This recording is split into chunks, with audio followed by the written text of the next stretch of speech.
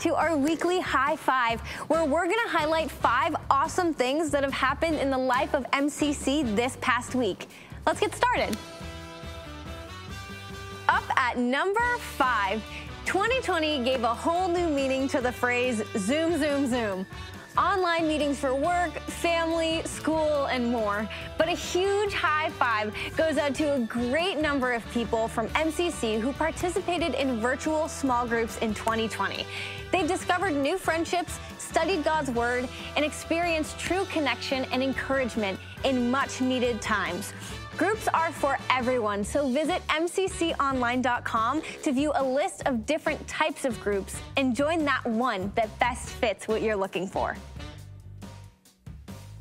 Here at number four, this past week, MCC students confirmed plans for Deep Freeze 2021. This weekend for students includes every snow activity, times of worship, small groups, and so much more. So save the date, March 12th through the 14th. Registration begins on January 4th at mcconline.com or through MCC students on social media. High five to all the students planning on attending this winter getaway. In at number three, we recently received feedback from a woman who watched MCC's Christmas special on WMUR. She grew up following her grandmother's religious traditions because she loved her grandmother. As time went on, though, the traditions faded away and left her feeling disconnected from God and not worthy of being known by Him. In listening to the message of hope in the Christmas special, God touched her heart. She was completely overwhelmed by the truth of His love. With great joy, she realized, yes, He does love me. He is with me. He is my hope. So high five, sister. This is true for everyone and true of you as well. Here at number two, the songwriters of Station Worship have been working on a new song called Jesus Victorious. This is a song about God's faithfulness and how Christ's victory leads us with courage through the valleys of life. High five to Station Worship for this song. I can't wait for this song to be on our hearts and on our lips. And finally, at number one, this past week, MCC kicked off a brand new teaching series called Walk On. What a great series for starting off a new year. A message called Not So Fast last week had us studying God's faithfulness and goodness. I can't wait to see how God will lead us and direct us in this new year. We're so glad that you've joined us for our weekly high five, and we can't wait to join together and worship with you in just a moment.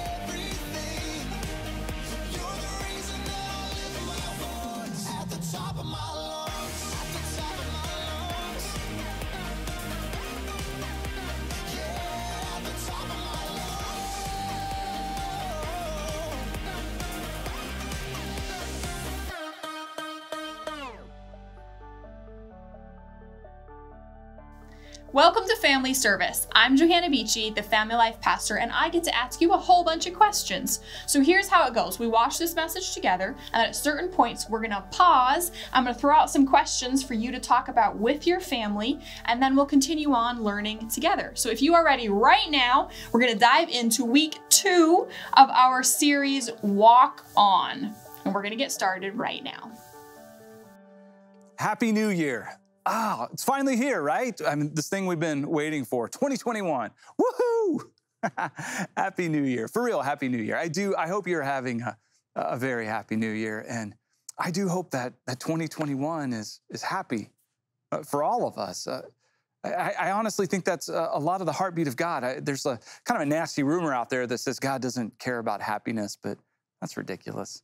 God cares about happiness because He knows we care about happiness. Ha- happiness matters. And yeah, uh, sure, there are some things that uh, maybe are greater than happiness, like joy. You know, being uh, being content and in our circumstances, regardless of, of what's going on. But, but what if we could be happiness in difficulties instead of just having everything be magically okay? Uh, that's not going to work anyway. Uh, there's still problems. There's still issues, and so uh, to find a happiness in God, I think that's a key. And I think that's what God has for us in 2021. If you're like 2020 could, could teach us anything, it, it might be to say, hey, you know what? Uh, there can be genuine, soul satisfying happiness in the midst of really trying circumstances. And so we're ready to walk on into 2021, to just let's go, let's walk on. But let's make sure that we truly are walking on, uh, that we're moving forward in God's plan. You see, we have this unchanging God that is ever revealing. And so we don't want to go back to anything. I know there's that kind of sentiment that, that is kind of in us a little bit, maybe a lot of bit. It, it's out there, you know, that we really just want to go back to normal. And there's been a lot of talk of that. So most of us are pretty much removing that from the vernacular, going, okay, there, there is no normal, or whatever the new normal will be. Yeah, well, first of all, there's no normal. It's always new and, and things are always changing and it's always different, but that's good because God's always making himself known. He's always revealing himself. And we don't want to return to something. Instead, we want to walk on forward into what God is doing and what he's up to. And, here's what I can tell you He's up to something really good really good. And He's got good things in store for you, uh, for His church, uh, for the communities that we get to live in, our, our worlds, our homes and neighborhoods and workplaces and schools and communities. God's on the move. And so we're going to walk on into that, not going back to something that was there before but rather we're going to walk on into that. Now, our memory verse for this series is found in Proverbs chapter 26, verse 11. It says, As a dog returns to its vomit, so fools repeat their folly. All right, really graphic there, but I'm I'm gonna read it to you again. All right, I want you to hear this Proverbs 26 11. As a dog returns to its vomit, so fools repeat their folly. All right, the, the scriptures sometimes do paint a, a pretty graphic picture, and maybe you just went, ew, gross. I, I mean, yeah, if, if you understand the, the proverb at all, if you caught the imagery there, it, it is really gross. But here's the thing about a dog as a dog owner, having had many dogs and right now having three dogs, dogs are, are pretty spectacular. Like, I, I love them. But something that maybe if you're not a dog owner that you don't know about is that when a dog vomits, it's, it's a whole scene. Okay, a dog's not like, you know, somebody who just is like sitting there talking to you one minute and then goes and throws up. That's not what a dog does. A dog goes through this whole progression. I mean, there is like this whole thing that happens where the dog starts going, and it's it's heaving and it's it's hunching, and no matter where you're in the house, when you start hearing that, you're like, whoa, whoa, wait, wait. I mean, I mean, this is the moment. You've got a window there to get that dog outside before you're going to have some throw up on your floor. But it's longer than you think because it takes a lot for that dog to, to get that out of its system. Now, the crazy thing about that is, is oftentimes when a, when a dog does that, regurgitates, the dog will then return back and eat it. Look it up. I know it's gross. I don't even want to say it, but that's what it is. Look, look it up. And if you've seen this, you're like, oh, you know, and then the dog comes in and, you know, kisses your wife and you don't tell her, you know, it's gone down. You don't even let her know because it's gross. But in the same way, it's, it's gross when we've been through something where God has maybe purged us of some things that were unhealthy, purged us of some things that were causing damage, purged us of things that, if they had remained inside of us, would have done a lot of harm. How foolish would it be if instead of walking on into what He has coming, we went back and tried to do what he's already purged from us. I mean, there's a lot of, lot of wonderful things that happened during 2020, and I understand there's also a lot of really challenging things. But in the midst of, of those challenges and those difficulties, God was working. And a lot of what he was doing uh, was he was uh, giving us a space to, to break some patterns of behavior that were damaging just damaging. I mean, uh, the the new mindsets that he's brought to us about how we how we can communicate with one another and how we can share his love in new ways, how, how we can reach more people in different ways. I mean, God is up to something really powerful. So we don't want to miss out on that. We want to walk on into what he has for us. Now, there's an enemy to this, okay? An, an, enemy is going, well, no, this is this is how it's always been, and so it's how it'll always be. And it's called inside the box thinking. Now, let's take a look at this. Inside the box thinking is all defined by limitations. Uh, here, here are the parameters. It's inside the box. Okay, I got the box right here. It's, uh, it's nice, it's tidy, it's neat, it's clean. Everything fits in my little box. But it's defined by limitations. Here are the edges of the box. I've got a bottom to my box, I've got four sides around my box, and I got a top for my box. Here is my box. Now, I, I want you to stick with, stick with me here.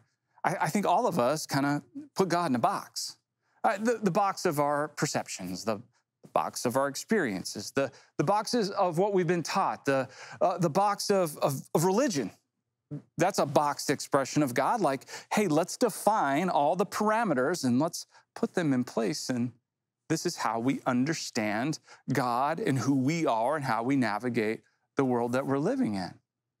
But it's defined by the limitations. All right, so in that, I, I know for me, um, to kind of always want my, my God box to be expanding and really to take the lid off and, and be free to look up and look around and, and get outside of that to experience more of what God has for us. I remember one time reading a, a book. Uh, it was a part of the space trilogy that C.S. Lewis wrote. And it's this, this three part series. Um, it's kind of sci-fi. C.S. Lewis, I didn't even know that he had written this kind of fiction. He's the guy that wrote The Lion, the Witch, and the Wardrobe. Maybe you've read that. I wrote a lot of incredible books like Mere Christianity, The Great Divorce. Um, but the space trilogy, I remember reading them and just being in awe of how much bigger God is than I could ever even begin to imagine or conceive. And so we want to get outside of that box because inside the box thinking is defined by the limitations. Now, Jesus talks about this because in our religious expressions, a lot of times that's what it is. It's like, okay, let's get God inside a package that works for us.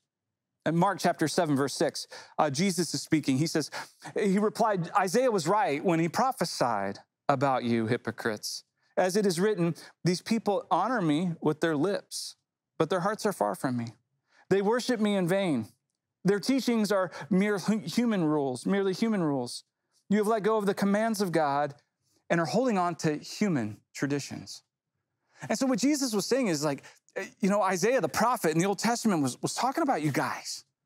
Like, you can't even he's saying you can't recognize who he is and what he's doing and what he's up to uh, because there are all these preconceived notions, these religious expressions and teachings that had created the box that God had been put in.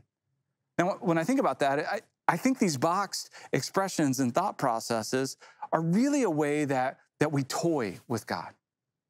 And let me be clear God is not a child's plaything, He's not a toy.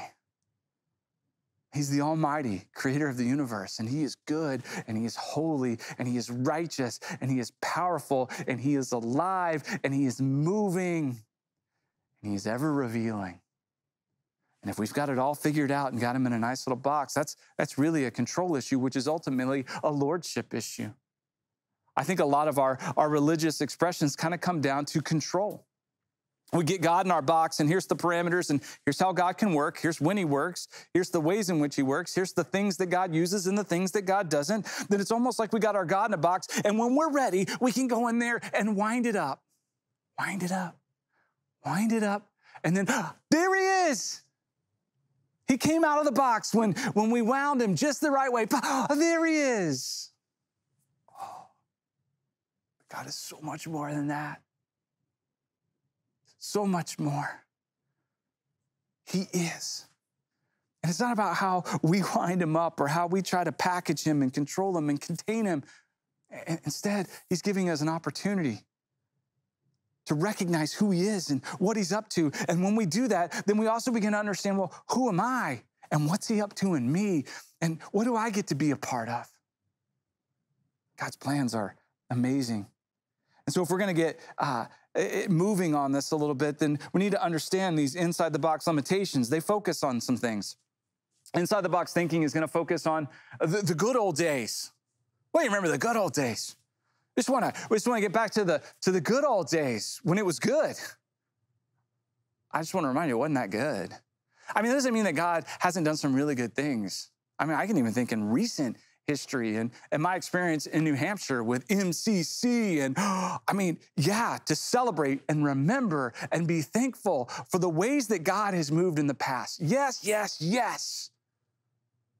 But I don't want to focus on that because God's doing some new things in some new ways that are going to reach some new people.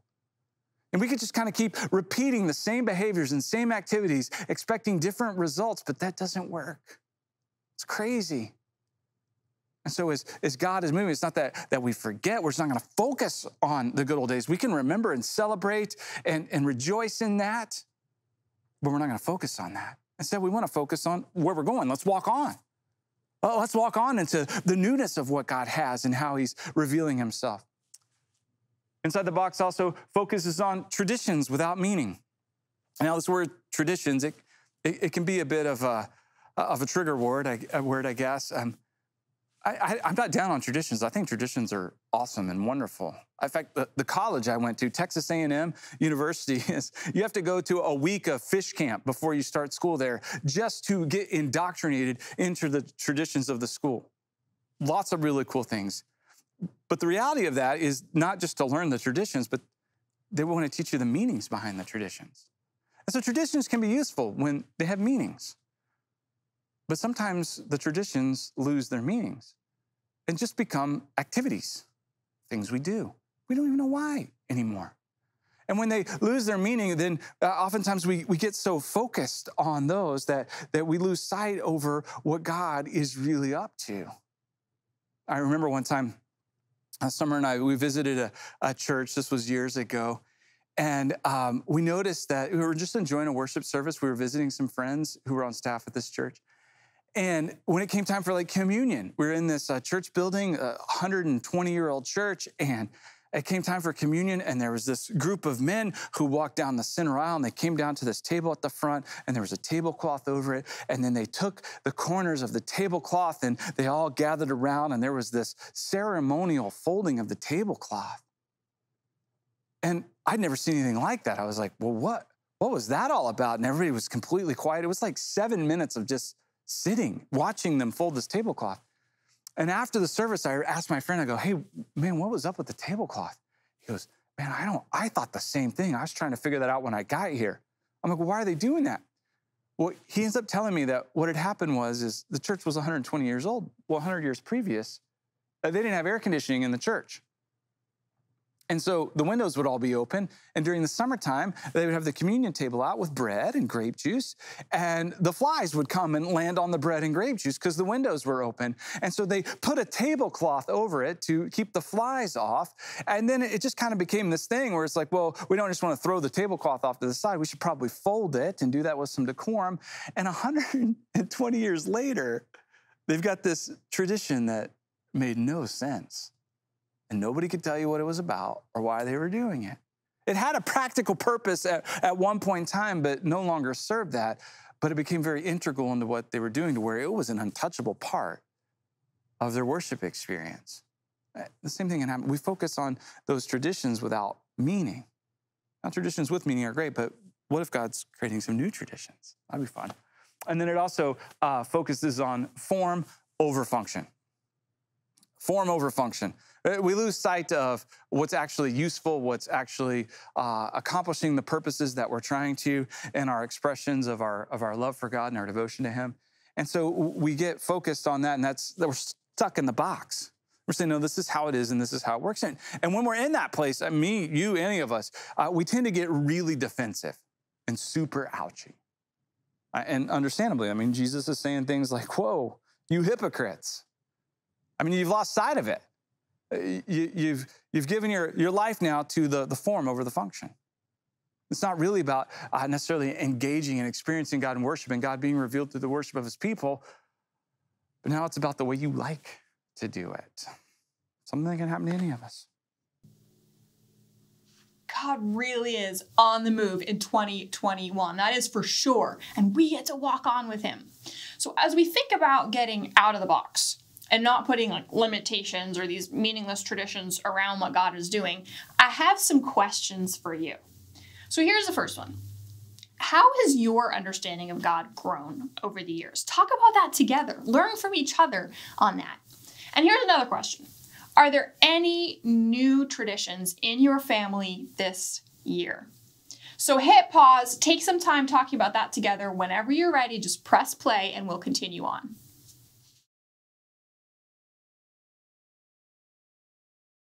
Welcome back, family. If you're ready to go, we're going to keep listening into this message. All right, so that's inside the box thinking. But what about outside the box thinking? Outside the box thinking looks for opportunities. It says, all right, what's happening? Where are we going? I mean, it gets the lid off, it gets the head up, and it goes, okay, God, what are you doing? Where are you moving? Uh, what are the opportunities that are before us? What are you up to that's new? God's always up to new things. Uh, Like, like I said, He's unchanging, but He is ever revealing. And if we don't have our heads up, we're going to miss out on what He's doing. So uh, we got to get our, our heads out of these boxes and really look for what God is doing. That's why I fully believe that, that trials and, and challenges and struggles, they aren't curses. They're opportunities. Uh, sometimes we look at, at a problem and we say, well, here's a problem and God must be mad at us. And well, I guess there's, there's no hope. No, no, no, no. Problem is opportunity. A challenge is opportunity. A struggle is opportunity. God, what are you, what are you doing in the midst of this? Because He's unchanging. His goodness does not shift. It is solid and steady. And so He's unchanging. And so we want to look for the, the new things that, that God is doing. In John chapter 4, Jesus is having a conversation with a Samaritan woman at a well, uh, which God is ever revealing. And, and in this conversation, this is quite honestly like the first person Jesus has is revealing himself to as being the Messiah. He is he's saying, "I'm He. I, I am the Messiah. I am the promised one." A Samaritan woman at a well, breaking through all the like social norms that they had in their day. You know, a, a Jewish man talking to a Samaritan woman alone at a well. He was asking her for help. Can you give me something to drink? And and yet here is this conversation. And this woman, she has some questions for Jesus, and they're kind of religious based questions. She's trying to figure out what, what he's talking about because it doesn't fit in her box. She's limited in her way of thinking. So she's asking him questions. And so she asks Jesus, okay, tell me then, um, you Jews say that we're supposed to worship in Jerusalem at the temple. But our people, the Samaritans, say we worship on this mountain. So who's right? Do we worship on this mountain or in Jerusalem? And very religious based question, which we still do today. Like, where am I supposed to worship? Where do I go? Like, well, what are the what are the parameters? What's the box? Explain it to me. And so she's asking Jesus that question, and Jesus' answer, wow. Verse 21, woman, Jesus replied, believe me, a time is coming when you will worship the Father neither on this mountain nor in Jerusalem. You Samaritans worship what you do not know. We worship what we do know. For salvation is from the Jews. Yet a time is coming and has now come when the true worshipers will worship the Father in spirit and in truth. For they are the kind of worshipers the Father seeks. God is spirit, and his worshipers must worship in spirit and in truth. So Jesus starts using these words spirit and in truth. It's pretty easy to, to get focused on the, the form over function, the, the religious parameters, the box. And yet, what Jesus is doing is saying, No, no, I need, I need you to get your head out of the box. I need you to look around because I'm, I'm doing something here. I'm, I am unchanging, but I'm ever revealing. And it, it's not, it, the temple served a purpose. I mean, by 70 AD, that temple was destroyed. It's never been rebuilt. Uh, the expressions on the mountain, they, they served a purpose. But now, uh, through Jesus and through the indwelling of His Holy Spirit, n- now we have the opportunity to worship in spirit and in truth. Uh, the truth being the reality of God with us, His presence, not just the hope of it or somehow trying to appease God or, or make peace with God. Instead, the, the truth of peace has been made with God. Peace on earth, good will to men, that this peace has come. The Prince of Peace, He has come. He has laid down His life. He has taken our sin inside of Him. He has paid the consequences of our sin, which is death. He was dead, buried, crucified. On the third day, He rose again. He came back, conquered death, and He sent His Holy Spirit to, to dwell inside of us so that we can worship in spirit and in truth. That our, our worship isn't merely words or human traditions or religious activities They're not hoops that we're jumping through. We're not winding up the God box. We're not rubbing the magic lamp. Instead, it's an expressions uh, of lives that belong to the King of Kings and the Lord of Lords, that have a greater hope than the here and now, that have real meaning and purpose and, and passion. And so, this outside the box thinking, it focuses on some different things. It focuses on principles over methods. A phrase I, I, learned very early in ministry goes like this uh, Methods are many, principles are few. Methods always change, principles never do. And so, yes, there are, there are principles, and those don't change, those are unchanging, but the methodology, it better change. It better because it needs to change. There are, there are new ways to reach new people uh, and to express who we are and what God is doing. But if we let those methods become principles, you may think, well, that's not that big a deal. It's a huge deal because now you got way too many principles. That's where you start fighting over ridiculous stuff arguing and dividing and turning on one another and biting and devouring each other and, and tearing each other apart. And, uh, and the family of God, the body of Christ, it becomes, it doesn't represent him at all. You start, start fighting about this crazy things. Totally losing sight of worshiping in spirit and in truth, the, the reality of what God has for us and the mission that He's called us to to reach the most people in the shortest time to offer our lives as, as living, as a living sacrifice to Him. It also focuses on present day needs. Not the good old days, not the glory days, but oh, okay, right now, what, what's happening? You get your head out of the box, you look around, you look at the world, you survey. You survey the world, you, you listen to people. What are they saying? It's not just even how they're saying it, but, but what are they saying? What are they communicating? We're not turning a deaf ear to that. So we want to tune in and go, okay, what are you saying? What are you communicating from that? What are you asking? What are you desperate for? What are the needs? We listen. Because we're getting outside of that box. It's unchanging yet, ever revealing God. He's revealing himself in new ways to new people. It also focuses on effective expressions. I, sometimes, uh, you know, as things change, I, I, know I can be a kind of a lightning rod or a focal point for the irritation that comes with that. And yes, there is irritation and, and change. I, I understand that. But listen, I, I, I'm not doing what I want. My worship isn't about what I want.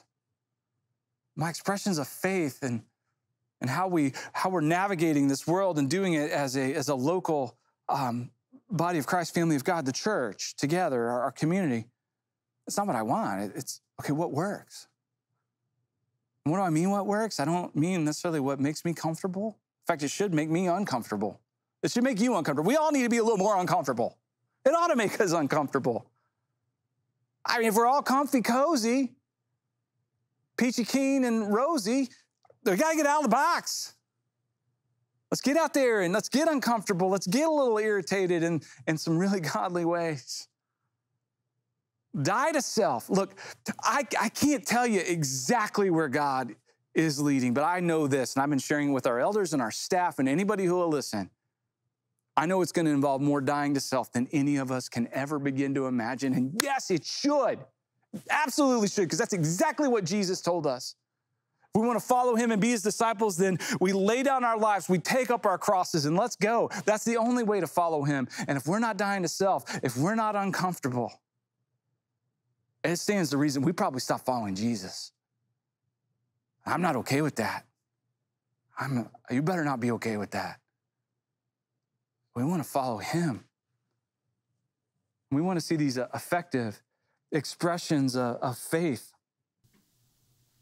Let's you and I keep climbing out of that box. You know, I love the way that Jesus interacted with the Samaritan woman and invited her to engage with God in a completely new way. And it turns out that when she got out of the box, there were some really cool opportunities in front of her. And there are for you and me too. So let's answer these questions together. Here's the first one What new things do you see God doing with his church? This one makes me so excited for you guys to talk about. And then here's another one. What present day needs do you see around you? Talk about those two questions together with the people that you're with. Take as much time as you want. Press play when you're ready to continue on.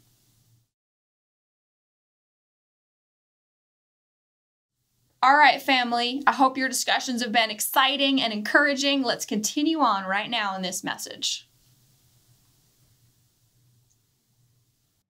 So, what we're doing isn't just religious activities, but uh, let's get out of the box.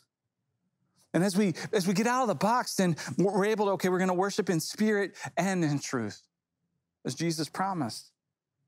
In spirit, these are the kind of worshipers the the Father wants. Well, what does it mean to worship in spirit and truth? Well, we're talking about the Holy Spirit. And here's the thing about the Holy Spirit if you're going to learn anything about the Holy Spirit, the Holy Spirit cannot be contained. So let's knock off trying.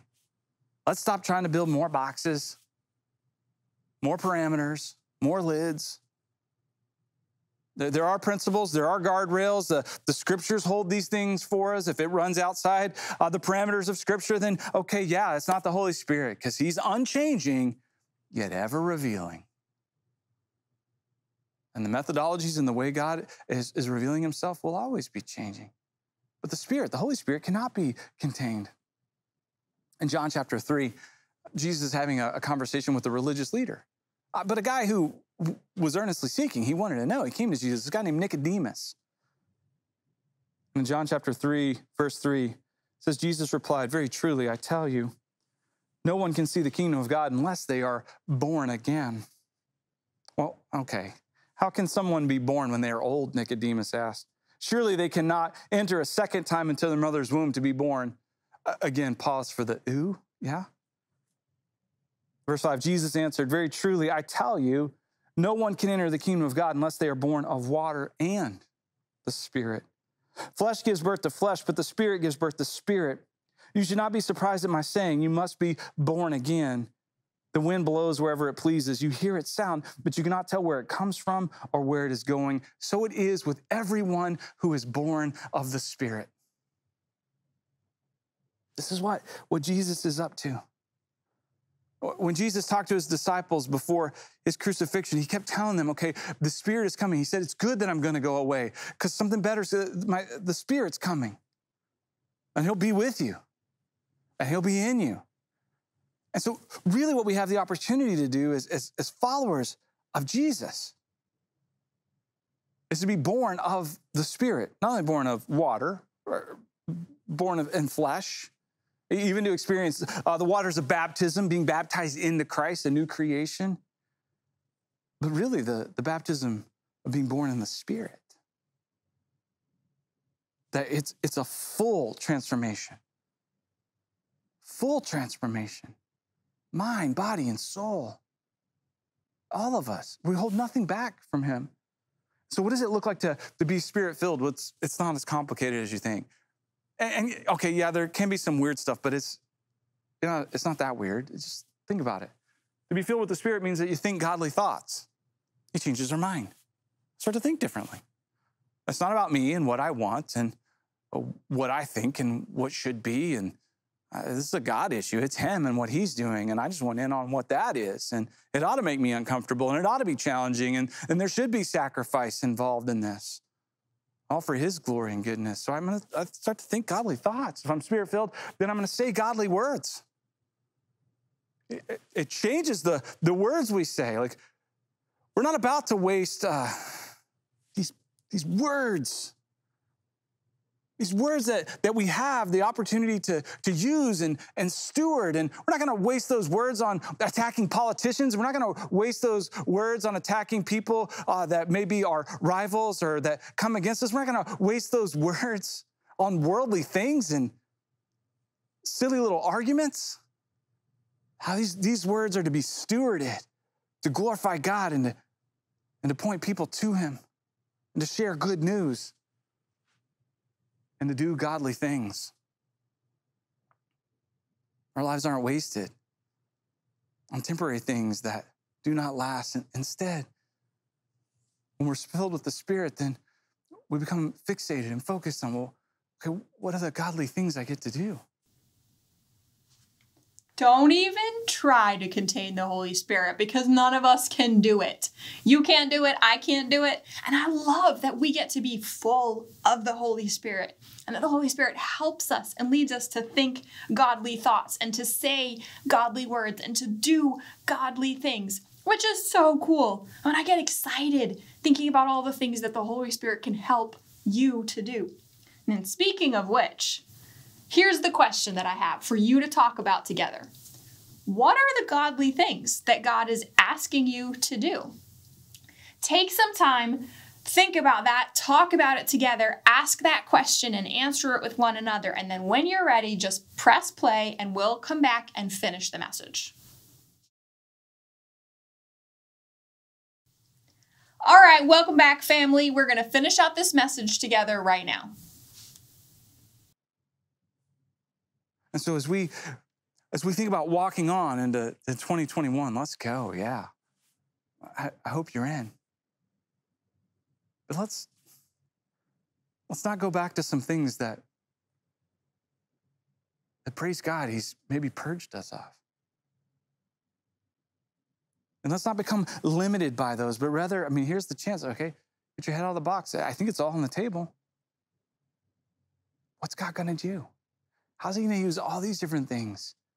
And, and by the way, it's, it, it's probably not like not one thing or another. It, I think he's, he takes and he says, okay, here, go. And when, when we step into that and say yes to the moving of his Holy Spirit, well, his Holy Spirit cannot be contained. It blows like the wind.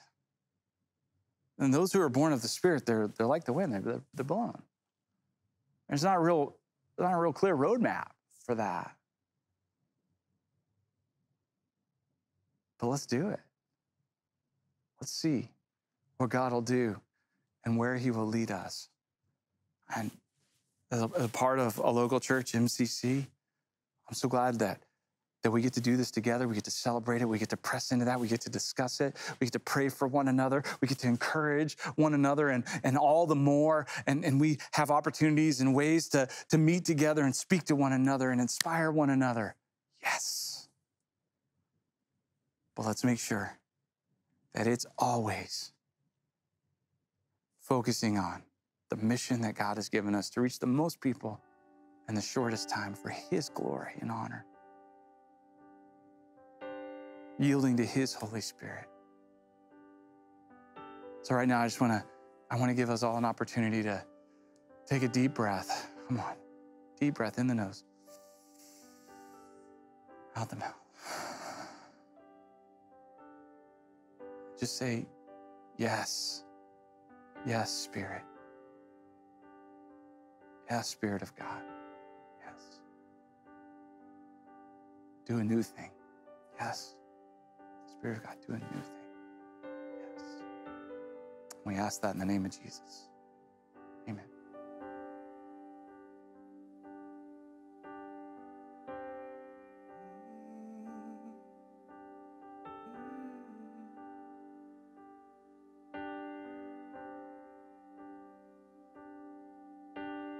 Jesus at the center of it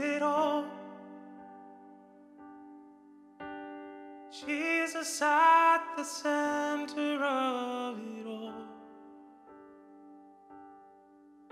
From beginning to the end, it will always be, because it's always been you, Jesus. Jesus.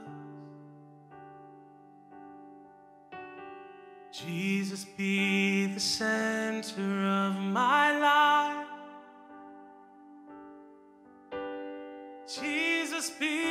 center of my life. From beginning to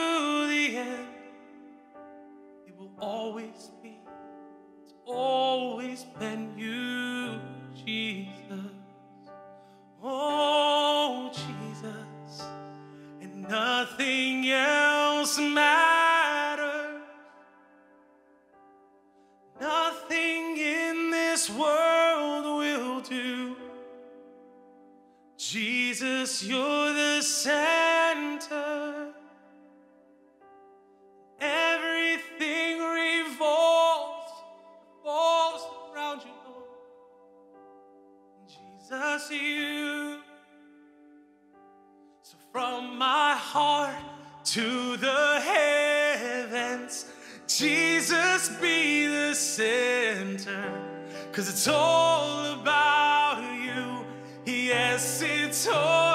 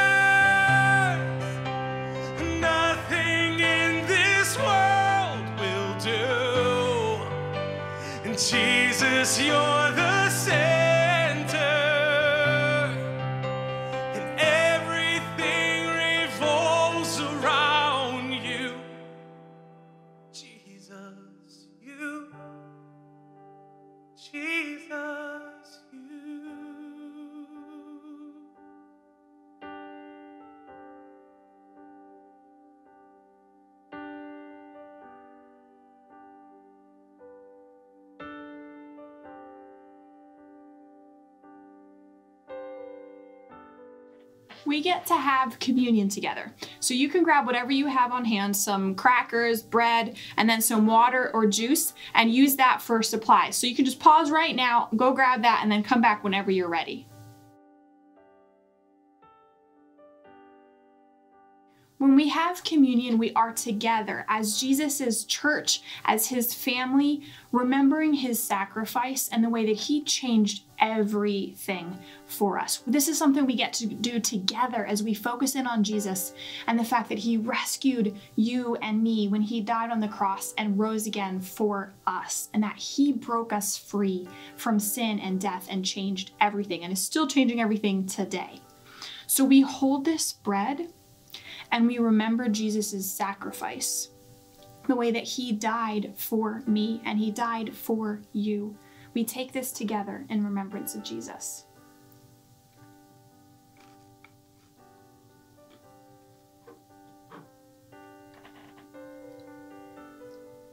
We hold this cup and we remember Jesus' blood that he was willing to give up for us and that his blood it is more powerful than anything else more powerful even than any sin than even all the sin in the entire world.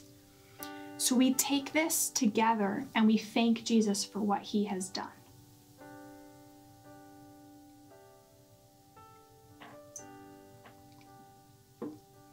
Jesus, we love you so much. We thank you for the way that you sacrificed yourself for us, that you died on the cross and rose again to change everything, that you love us in a way that we get to share with other people. We thank you that your love has changed our lives and the lives of the people around us. We pray all of this in your name. Amen.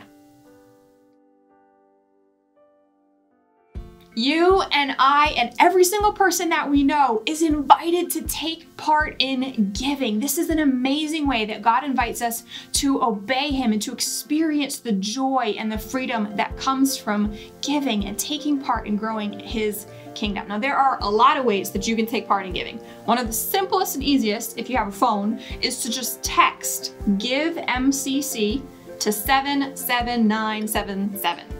Or if you want to give with cash or with check, you can mail that right in. So if you're a kid and you want to give, you can mail in your giving to Manchester Christian Church at 1308 Wellington Road, Manchester, New Hampshire 03104.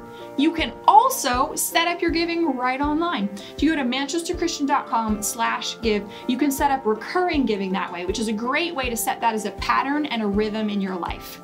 I really do thank you for obeying God and experiencing this freedom that we get through financial giving because I know that when we give, lives change. I'm going to pray for our giving, and I would love it if you would pray with me.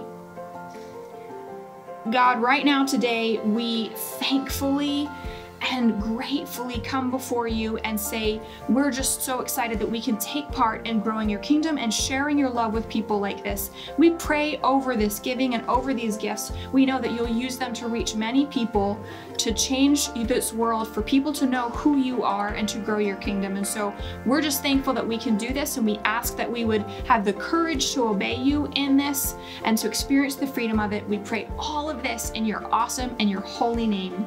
Amen. We are here for your family in whatever your next step might be in this new year, whether that is joining a group, or maybe someone wants to be baptized, or if that's setting up giving, or you just want to talk with someone or pray with someone, or if there's specific resources that you're looking for for your family, maybe a Bible or a devotional, we would love to support you in that. You can email me with any questions or next steps or prayer requests at jbeachy at manchesterchristian.com, and our team would love to come around and support your family as you take your next step and grow together this year.